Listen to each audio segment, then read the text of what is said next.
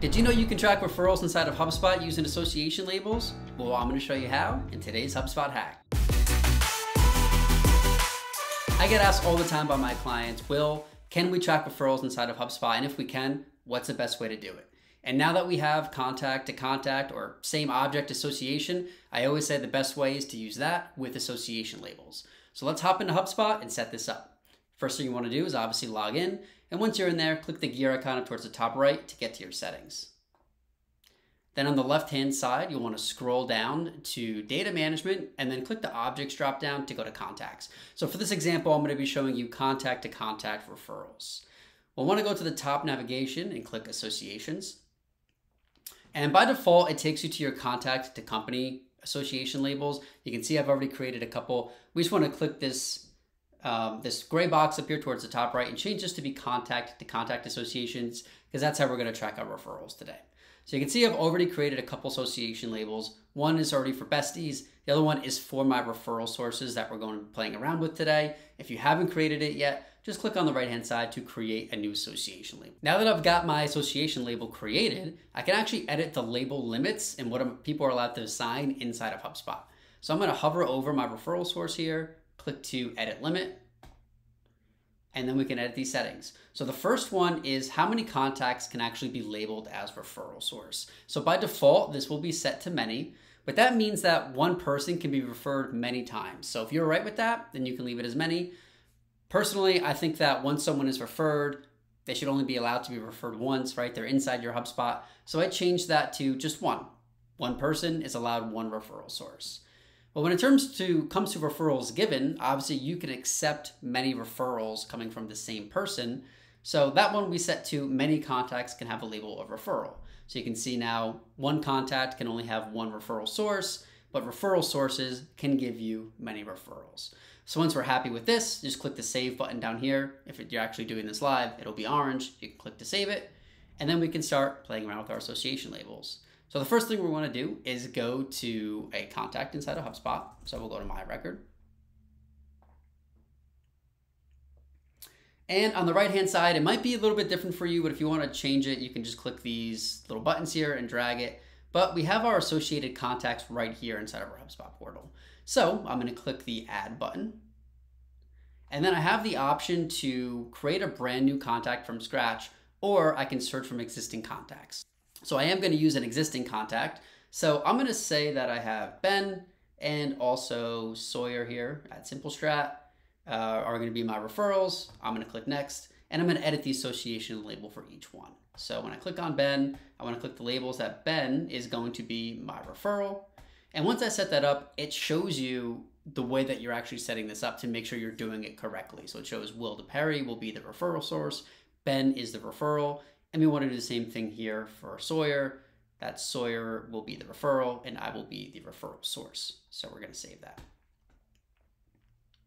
And now we can see I have two contacts here as my referrals. Again, that is a one-to-many association. I have multiple referrals that I've given. Um, and if we click into one of these records, let's click into Ben. On the right-hand side, we can see Ben only has one referral source. So clicking back to me, Say I was also referred by somebody else. I can also click into add another referral. And let's do Jack Dawson.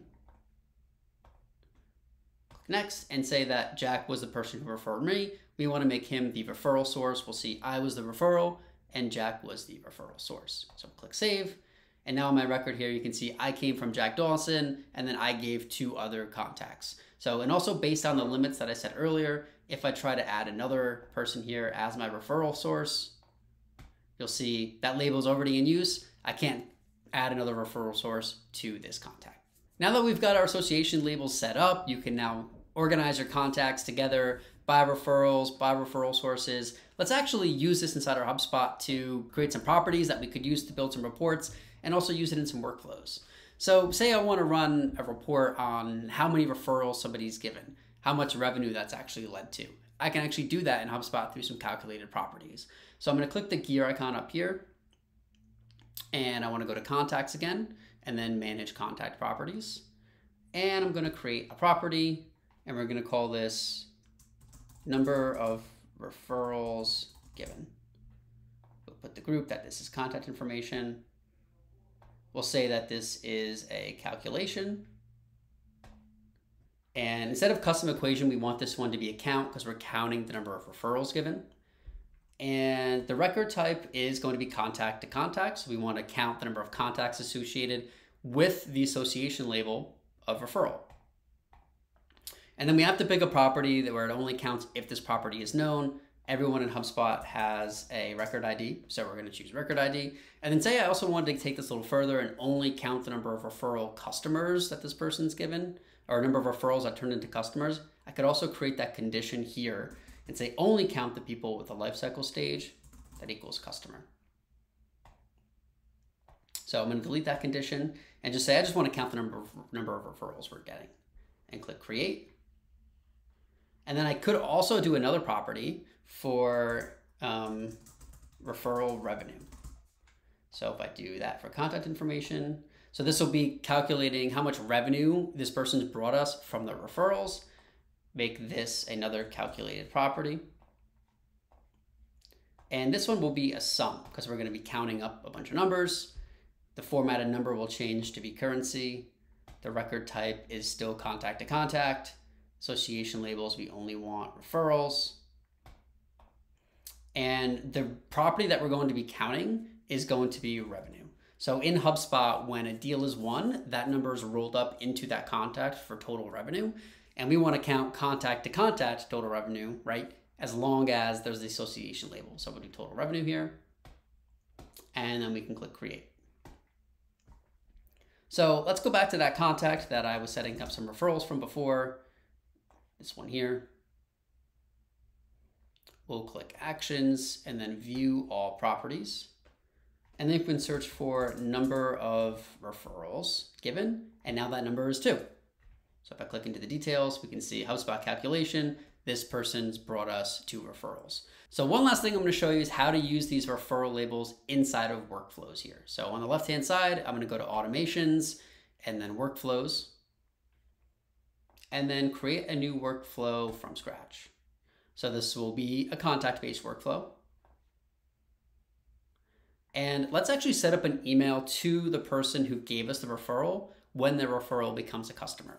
So we'll give our referral a name, email to thank referrals. Contacts become customers. And our trigger will be when a contact lifecycle stage becomes customer. We'll click save. And when we click the plus sign here, we can then send an email and we can choose to do what you're most common most commonly used to is sending it to the enrolled contact, but instead we're going to send it to the associated contact with the label for referral source. And then we can just choose our email here you know, I don't actually have one. We'll do our birthday email, but I don't have one written for actually thanking for referrals. And we'll click save. And then whenever that referral becomes a customer, an automated email will go out to that referral source, thanking them for that referral, letting them know they became a customer. Maybe there's some sort of rewards program that you have, or it's just a simple thank you. Um, and remember, you'd also need to make sure this person would be set as a marketing contact if I want to add that in here as well. If you're using marketing contacts, I can do that here by searching for set marketing contact status as marketing contact. Awesome. So that's how you set up referral tracking inside of HubSpot, association labels, some properties, a little workflow hack that I hope that you like.